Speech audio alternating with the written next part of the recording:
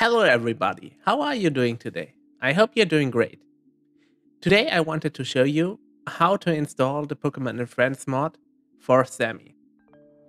This video is only for a fresh installation. If you have already version 1.1.6 or lower, then please refer to the upgrade video, which is linked down there in the description. First, let me showcase you how this game works. In this game, Pokemon will spawn from time to time, but your viewers can also redeem channel point rewards to spawn a Pokemon directly. This game also supports a complete free version which runs without channel points, but I personally prefer the version with channel points. As soon as a Pokemon spawns, the spawn rewards will disappear and the ball rewards will appear. Then you can redeem the balls to try to catch the Pokemon you can do a lot of different commands. Like you could, for example, check the catch rate of the current Pokemon.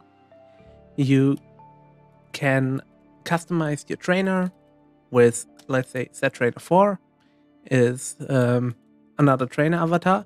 If you want to see all the trainers available, you can always do trainers, which will show this in chat. And here you have all the different trainers that are available. So now if we throw a ball, for example, Master Ball, because we really want that, then we have another trainer. And if you have enabled the Discord integration, this should automatically be sent to your Discord in a second. Here we go. It shows the profile picture of who caught it, it shows the Pokemon, the ball which was used, if it's shiny or not, and a small description. This game is also available in five different languages English, German, Spanish, French, and Italian. And it features over 1000 Pokemon in total. It features Generation 1 to 8.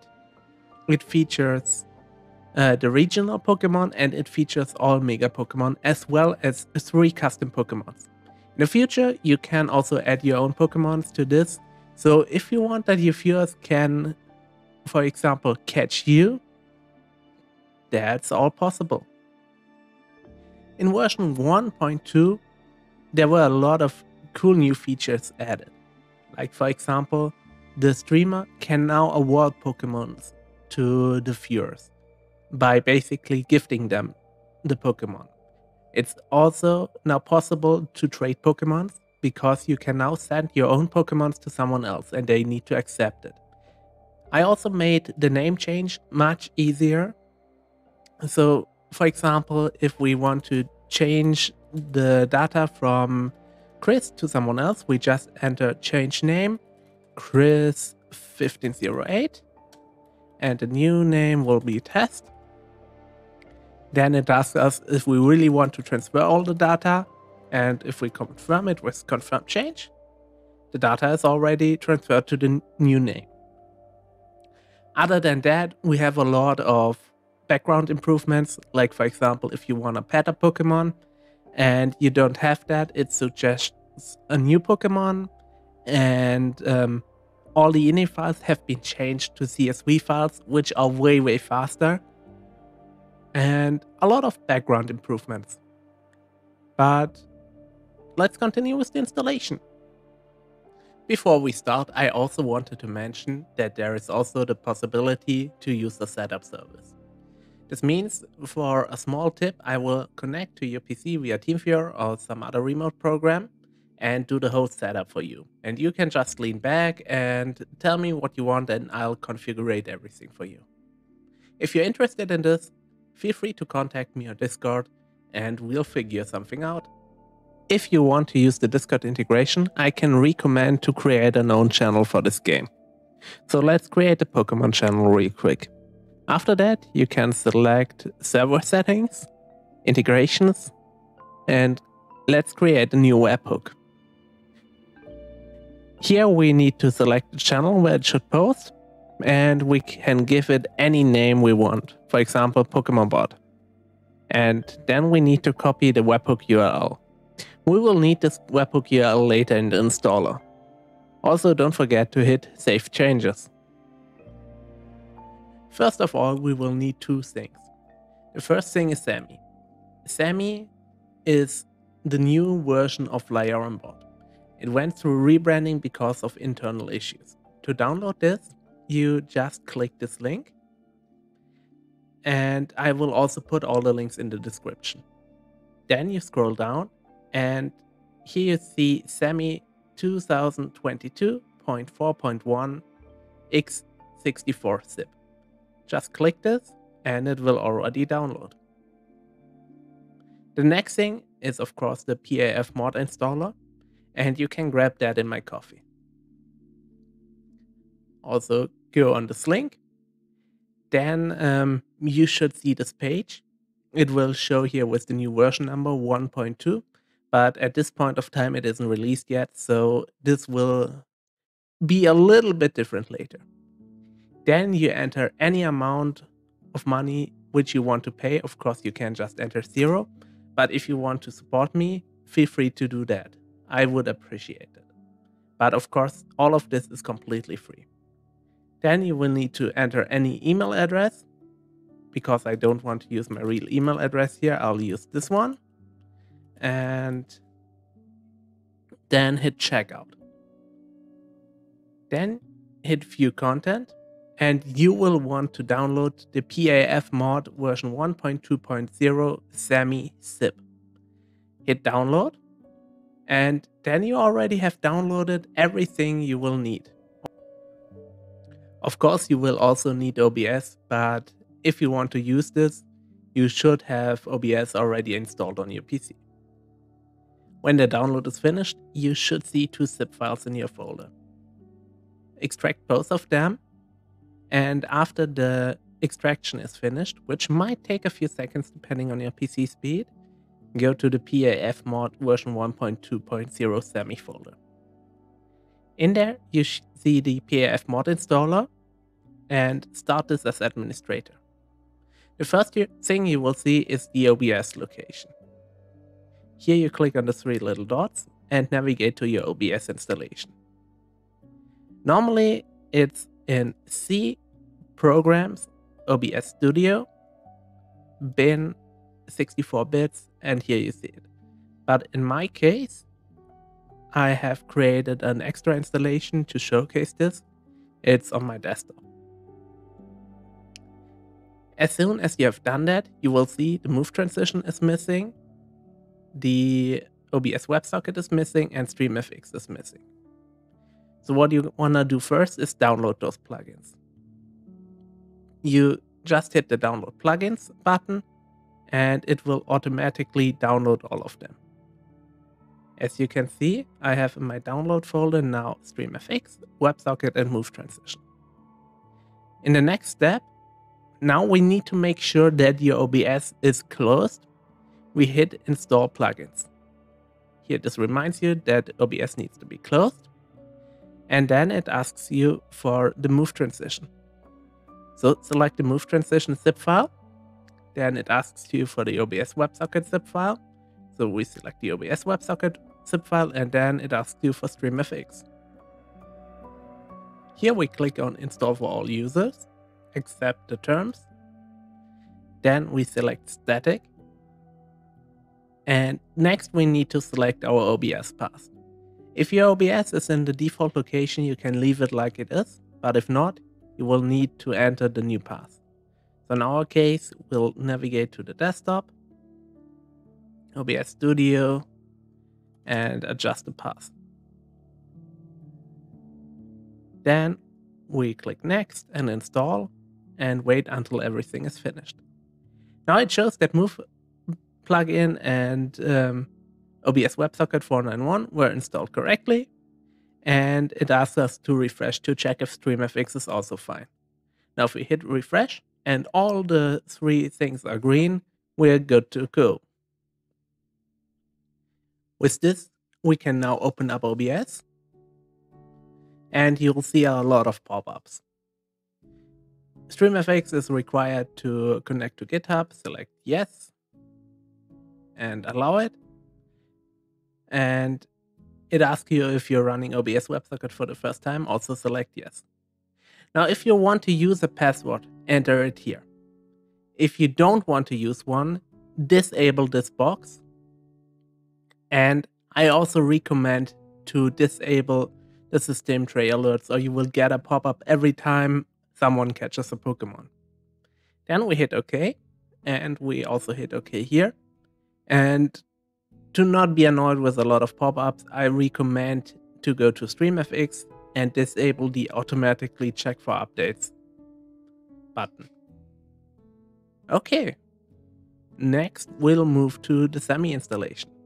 We already extracted SAMMI earlier, and in there you should see an x64 folder. I would recommend to rename this into SAMMI and put it to a location where it can stay. In our case, we'll move it to the desktop. If you move this around later, all your graphics will be screwed up, so put it in a location where it really can stay. Then we open up SAMMI, and there's the SAMMI Core exe. This is like our bot. I'll create a shortcut for this so that we can access this easily from the desktop at any time. Now, let's start up SAMMI. The first thing you'll see is that it needs the permission to connect with the local networks and we'll allow that. The first thing we need to do is link our Twitch account. To do this, we go to Twitch connection, check the auto connect box and hit open URL. This will open an authorization in your browser and as soon as you authorize it, your account should pop up in here. Then we hit connect to Twitch and you should see two of the four lamps going green on the left side. Now we can hit done.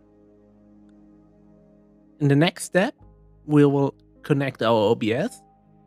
I also recommend to check the auto connect button and here we will need to enter our OBS settings. You can check them again in OBS when you go to tools WebSocket server settings, and here we see we use port 4444, and we haven't enabled the enable authentication box. So we enter in SAMMI the port 4444 and leave it at our local IP and just hit connect. And with this, OBS is also connected. The last thing we need to do now is add the bridge to OBS as custom doc. This can be done very easily. We go to Bridge and select Copy Full Path. Next, we go to OBS, Docs, and select Custom Browser Docs. Here we give the doc any name we want. In our case, we'll name it SAMMI and paste the URL which we copied before. Here you should see a new window pop up and we can put this anywhere maybe behind our chat or something like that. The important thing is this needs to stay open and if it gets closed, you will need to re-add this. But um, it should stay there when you close OBS normally. And as you can see, it's still there. With this, our SAMMI should have four green lights and is fully configured. One last thing is that only one SAMMI can run at once. So if you enable the minimize to tray box, which is not recommended, make sure you're not running multiple instances. Now we go back to the mod installer and go to the game settings tab.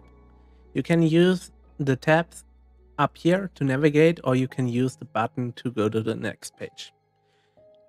I'm not gonna talk about all of the settings, but in general you can always hover over the labels and get a small description of what the values do.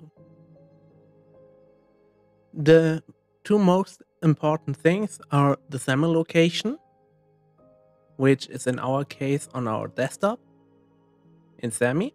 So we'll select this folder and the broadcaster name which is your streamer name. So in my case, it's Chris1508. So if you use an OBS WebSocket password, we will also need to enter this here. And of course, it's also encrypted so you don't see it. if you have created a webhook earlier, you now will need to copy the webhook URL and paste it in here. If you don't want to use the Discord integration, you can always turn this off.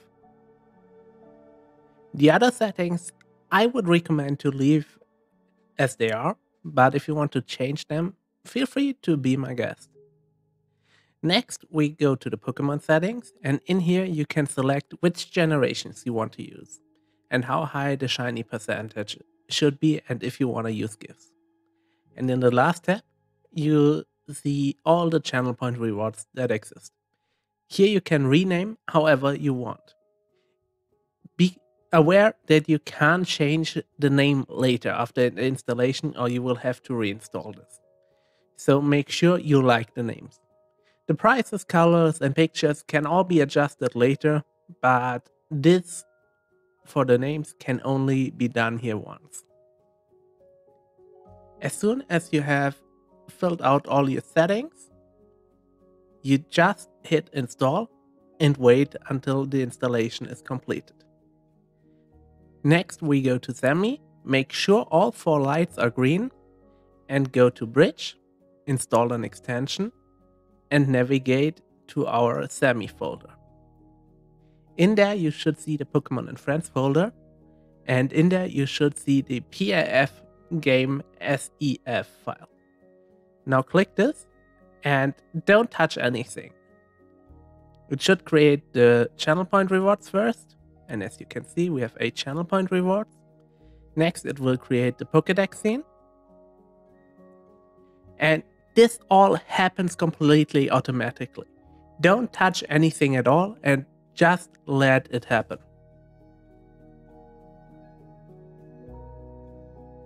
As soon as the Pokedex scene is installed, it will continue with the Pokemon scene. And this process might take a minute or two, but as soon as it's done, it will show up a pop up message. Let me fast forward to this. As soon as you see this message, the installation is completed. If you want to join my Discord, you can always hit yes and then click on my Discord icon to join the Discord. To test that everything was installed correctly, we can now redeem a mystery Pokemon. And as you can see, it works fine. It spawns here and we could throw a Pokeball to try to catch it. But how can you use this in the other scenes? Let me show you how to edit. So let's go to the normal scene. This needs to be done for all the scenes where you want to use it, and it's really easy. You just go to your sources, hit add, add a new scene, and select the PAF Pokemon scene. Now if we spawn a new Pokemon, you should see it in the scene as well. And the cool thing is, you can move this complete scene around to place the Pokemon wherever you want it to be. With this, the installation is officially completed. But if you want, you can make this even a little bit more beautiful. Because as you can see, our balls don't have any icons right now, but I have included example pictures for all the icons in our mod installer. Here, let me go to the mod installer, channel point pictures, and here you can see them you can add them on your Twitch dashboard to make this look more beautiful. The last thing I can tell you is that if you also want the official Pokemon font, I have also included that in the mod installer under other useful things.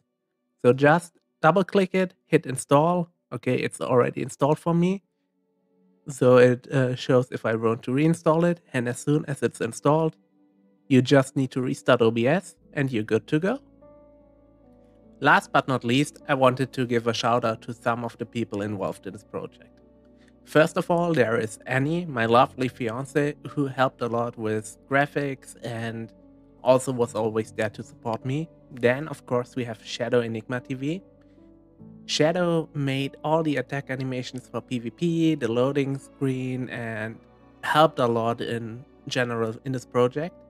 Then we have Pandemonium, Dr. Nico, and Alexandro, who helped with all the translations into French, Spanish, and Italian. Then we have SH Nickname. He created the teams for all the PvP gym battles. Then we have Doc Simpson. He does some awesome German tutorial guides, and if you don't have uh, seen his YouTube channel, you should definitely check it out. And last but not least, I wanted to say thanks to all of you. Thank you, everybody, for all the support you gave me, and thank you for sticking with me until the end in this video. But with this, we have reached the end of the video. If you have any questions, always feel free to join my Discord and ask me anything on there. I have channels for the Pokemon game, I have SAMMI help channels in general, and if anything goes wrong or if you have any questions, feel free to join, ask me anything you want.